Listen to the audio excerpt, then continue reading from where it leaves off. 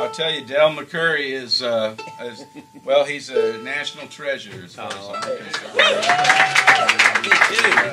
Uh, you know, bluegrass music was created by Bill Monroe and Lester Flatt and Earl Scruggs and Chubby Wise and Yes. uh, a bunch of great musicians uh, throughout the southeast really carried this tradition on and Yes. this old boy is uh, I, I think he's the greatest living exponent of this music and his band his entire band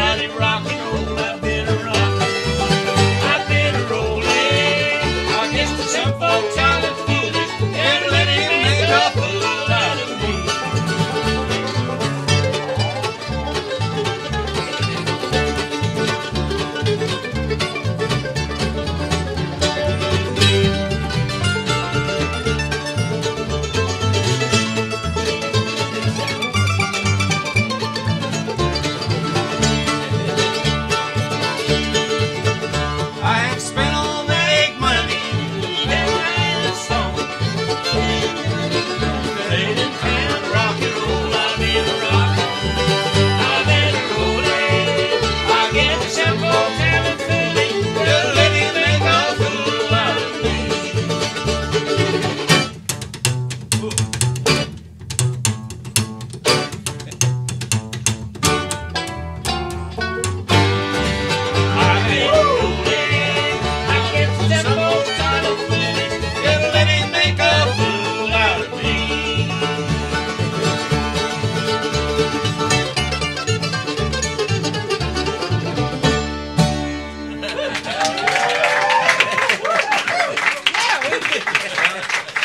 We screwed up that last verse. no.